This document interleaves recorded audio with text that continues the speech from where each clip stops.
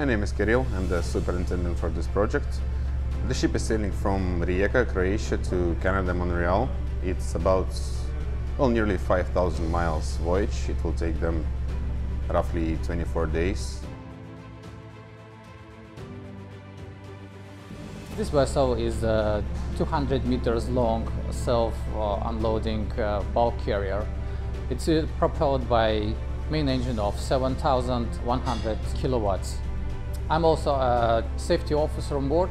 I ensure that all the safety and firefighting equipment is ready for immediate use to ensure that the safety of the crew and vessel is not compromised.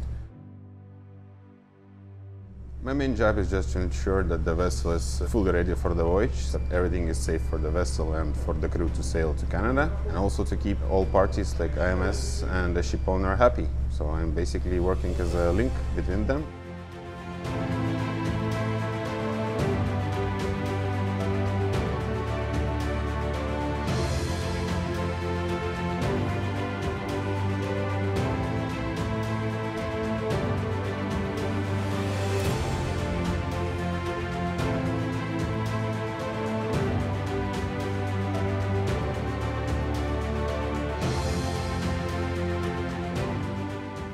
As IMS crew, our main priority is to deliver vessel safely to the final destination and to deliver it in even in a better condition than we took it over from the shipyard.